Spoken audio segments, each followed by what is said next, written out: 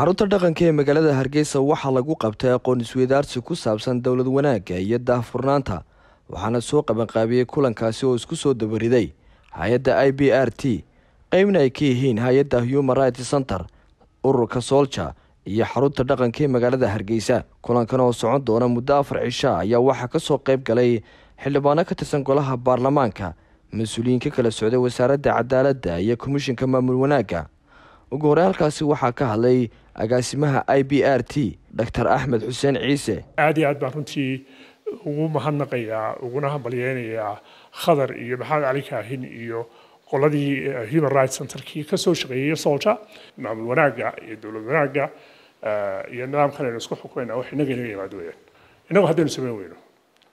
Inagu haddaynu samayn weyno. Dee cid samaysaa ma jirto. Sidoo kale halkaasi waxaa ka hadlay xildhibaan hore cabdiraxmaan yuusuf cartan oo ku hadlayay afka xarunta dhaqanka cabdiraxmaan habane oo ka socday ururka soolja iyo mas'uuliyiin ka socday wasaaradda cadaaladda iyo komishinka maamul wanaagga. Annagoo matelaynaa media houseska kala duwan ee somalilan sidii dimuqraadiyadda iyo isla xisaabtanka iyo caddaanta waxyaalaha had iyo jeer aala jira ay u caddaan lahaayeen iyadoon laga tegaynin akhlaaqiyaadka iyo damiirka had iyo jeer aale bulshadeenana caanka ku tahay haddana inaan la qarsanin waxyaalaha had iyo jeer aale bulshada dhibta weyn mustaqbalka dambe ku leh. Xarunta dhaqanka hargeysa ay u taagan tahay. Sidii mataqaanaa wadahadalka isdhaafsiga talooyinka iyo arrimaha mataqaanaa dimuqraadiyadda iyo waxwada qabsiga uu mataqaanaa bulshada ugu faafi lahaa. Waa inaynu qiimaynaa halkaynu taagannahay maanta iyo waxa inaga dhiman iyo waxa aynu ku dari karno halkaa iyo halkaynu u soconno markaynu taa ogaano ayaynu sare u qaadi karnaa oo aynu maamul wanaag iyo mataqaana ka hadli karnaa. Haddii laga fikiro oo keliya intaynu xukunka joogno intaa xukunka joogto hadday shaar toloto berri toolo shaarka anigu ma xidhan karo ilmahayguna ma xidhan karo.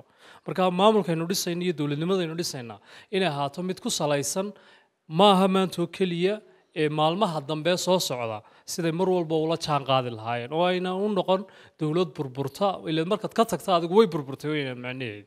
Marka taana waxaynu kaga badbaadi karnaa dhigaalkeennu inuu noqdo dhigaal rasmiya oo qiimo leh. Haddaanay maamul wanaag jirin cadaalad ma jirto. Marka cadaaladii maamul wanaaggu waxa weeye waa waxa waa xiliil wanaagsan ay ka wada dhexeeyaan. As waxaan rajeynaya insha allah as xukuumad ahaan inaan ka wada shaqayn doono insha allah sidii loo hagaajin lahaa nidaamkii cadaaladda iyo nidaamkii maamul wanaaggii sidii toosnaanta wanaagsan loo loo waafajin lahaa. Ugu dambeyntina halkaasi waxaa ka hadlay xildhibaano ka tirsan golaha wakiilada somalilan. Nidaamka oo hagaagaa oo isla xisaabtanka oo hagaagaa keliya uun dhaqaalaha yar ee meesha yaalla meeshii loogu talagalay ma gaadhsiiyo. Sidoo kale dhaqanka dadka ayuu wax ka bedelaa incentiveka qofka ayuu wax ka bedelaa ka gole ahaan waxaa nala gudboon dabcan wax kasta oo hagaajinaya habmaamulkeena dowladnimo oo sharciyadu ugu horeeyaan oo isla xisaabtanka uu ku xigo oo daahfurnaantu ayadna ka mid tahay. Guulad cunaabi m m t v hargeysa